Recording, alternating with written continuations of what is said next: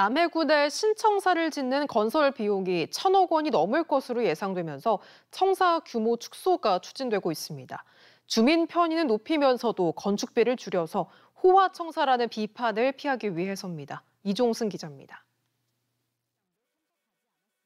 시현 지 63년이 넘어 정밀 안전진단 D등급을 받은 남해군 청사입니다. 10여 년 전부터 신청사 건설 요구가 빗발쳤고 2020년 행정안전부 심사를 통과하면서 사업은 본격화됐습니다. 총 사비 695억 원에 지하 1층, 지상 7층, 총 면적 1만 4천여 제곱미터 규모입니다. 중간에 변수가 터졌습니다. 주차장과 주민 편의시설 설계 변경에다 우크라이나 전쟁까지 겹치면서 사업비가 1,200억 원까지 훌쩍 치솟았기 때문입니다. 사업비가 500억 원 넘게 불어나자 남해군은 행안부에 타당성 재조사를 의뢰했고 다음 달 승인을 앞두고 있습니다.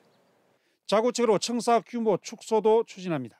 당초 4개 동이었던 신청사 설계를 군청과 의회 2개 동으로 단순화하면 89억 원의 예산을 절감할 수 있기 때문입니다.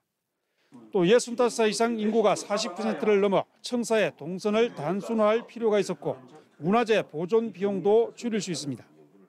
A동, B동, C동, D동 네 개 동을 이렇게 구분해서 가기가 좀 어려운 점이 있습니다. 그래 차라리 그냥 한 출입구에 들어와서 청별로만 구분이 되면은 좋은데 지역 여론도 호의적입니다.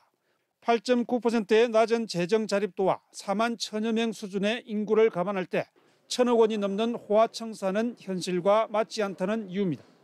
사업비가 대폭 그 많이 이렇게 증가함에 따라서 호화청사라는 그런 어, 또 국민들의 따가운 질책도 어, 받아들여야 되지 않느냐 이런 생각을 하고 있습니다. 남이군은 당초 신청사 설계안과 축소된 수정 설계안을 두고 여론을 더 수렴한 뒤 올해 말쯤 최종 설계안을 확정할 계획입니다. MBC 뉴스 이종세입니다.